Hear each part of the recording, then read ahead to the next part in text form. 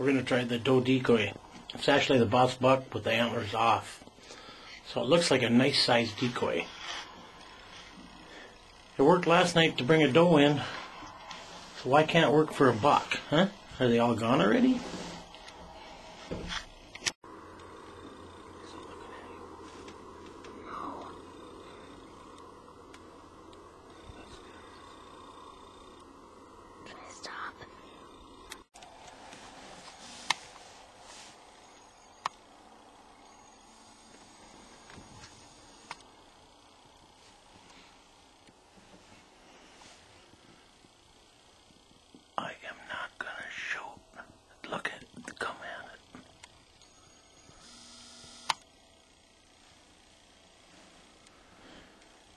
ears later.